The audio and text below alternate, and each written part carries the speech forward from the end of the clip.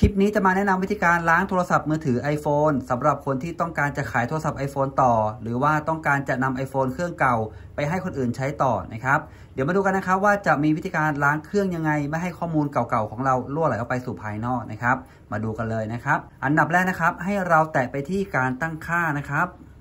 แตะไปที่บัญชีของเรานะครับ แตะไปที่คำว่าค้นหาของฉัน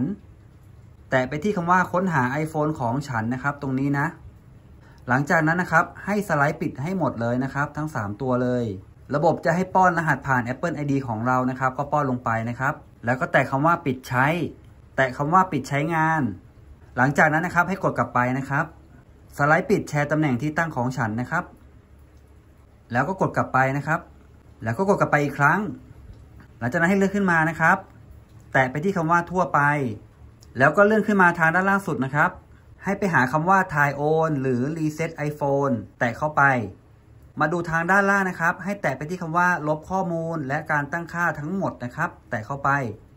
เมื่อเข้ามาอยู่ในหน้านี้นะครับ ระบบจะแจ้งว่าลบข้อมูล iPhone เครื่องนี้ การลบข้อมูลจะลงชื่อออกจาก Apple ID ของคุณ และเอาข้อมูลส่วนบุคคลของคุณออก เพื่อให้สามารถนำ iPhone เครื่องนี้ไปแลกเปลี่ยน หรือให้ผู้อื่นได้อย่างปลอดภัย รายการต่อไปนี้จะถูกเอาออกจาก iPhone เครื่องนี้อย่างปลอดภัยอ่าระบบก็จะแจ้งขึ้นมานะครับ ว่าจะมีพวกแอป แล้วก็ข้อมูล แล้วก็ Apple ID ของเครื่องนี้ก็จะถูกลบออกไปนะครับ แตะไปที่คำว่าดำเนินการต่อ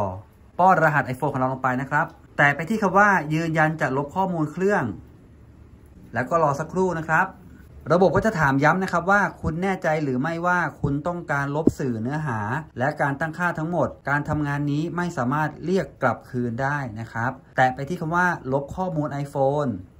แล้วก็รอสักครู่นะครับ สักพักหนึ่งก็จะเข้ามาอยู่ในหน้านี้นะครับ ก็จะขึ้นว่าสวัสดี Hello แบบนี้นะครับ ถ้าเข้ามาแบบนี้นะครับ หมายความว่าเราได้ดำเนินการล้างโทรศัพท์มือถือเครื่องนี้เรียบร้อยแล้วนะครับ ตอนนี้ก็ไม่มีข้อมูลใดๆ เหลืออยู่ในเครื่องนี้แล้ว มือถือเครื่องนี้สามารถพร้อมที่จะนำออกไปขาย หรือว่าส่งต่อให้คนอื่นใช้งานต่อได้แล้วนะครับสำหรับวิธีการล้างโทรศัพท์มือถือ iPhone โดยที่ข้อมูลของเราไม่รั่วไหลก็ง่าย ๆ แบบนี้นะครับยังไงก็ลองทำตามกันดูนะครับส่วนท่านใดที่สงสัยตรงไหนหรือว่ามีคำถามเพิ่มเติมนะครับสามารถพิมพ์พูดคุยกันไว้ได้ในคอมเมนต์นะครับ แล้วก็อย่าลืมนะครับ ฝากกดติดตาม กดไลค์ กดแชร์ กดดิ่งเพื่อเป็นกำลังใจด้วยนะครับ ขอบคุณครับ ไปเจอกันคลิปหน้าครับ